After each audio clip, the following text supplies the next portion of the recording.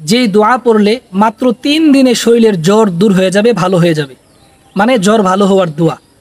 যদি কোনো ব্যক্তি অসুস্থ হয়, জ্বর উঠে তাহলে ওই ব্যক্তির কাছে, ওই ব্যক্তি যদি এই দোয়াটা মাত্র তিন দিন লাগাতার পড়তে পারে, তাহলে তিন দিনের ভিতরে ইনশাআল্লাহ ওই ব্যক্তির জ্বর ভালো হয়ে যাবে।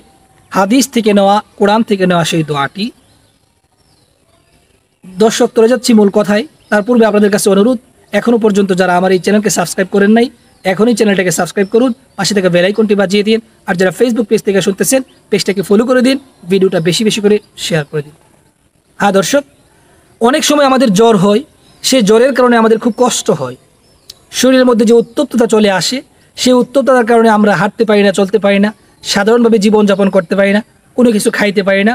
রাসুল আরবি সাল্লাহ সাল্লাম একটি দোয়া শিক্ষা দিয়েছে যে জ্বর উঠলে এই দোয়াটা বেশি বেশি করে পড়ার জন্য যদি এই দোয়াটা বেশি বেশি করে পড়তে পারে, তাহলে মাত্র তিন দিনের ভিতরে ইনশাআল্লাহ ওই ব্যক্তির জ্বর ভালো হয়ে যাবে। সেই দোয়াটা হচ্ছে, বিসমিল্লাহিল কাবির, আউযু বিল্লাহিল আজিম মিন শাররি কুল্লি ইরকিন নাআর, ওয়া মিন শাররি হাররিন নার।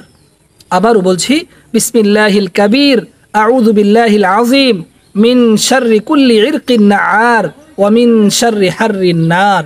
এটা হচ্ছে জোরের দোয়া। এটার অর্থ হচ্ছে, বিসমিল্লাহিল কাবির, সবচেয়ে বড় আল্লাহ তালার নামে আরম্ভ করতেছি, প্রত্যেক রবা, প্রত্যেক প্রবাহিত, রক্ত প্রবাহিতকারী, বেদনাদায়ক শিরার যন্ত্রণা ও অপকারিতা হইতে এবং দুজকের আগুনের অনিষ্টতা হইতে মহান আল্লাহ পাক রব্বুল আলমিনের কাছে আশ্রয় প্রার্থনা করিতেছি।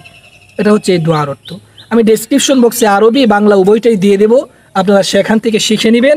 তারপরেও যদি আপনাদের কোনো প্রয়োজন হয় হেল্প প্রয়োজন হয় কমেন্ট বক্সে জানাবেন। হান্ড্রেড পার্সেন্ট ইনশাল্লাহ আপনাদেরকে হেল্প করতে চেষ্টা করব। ধন্যবাদ দর্শক।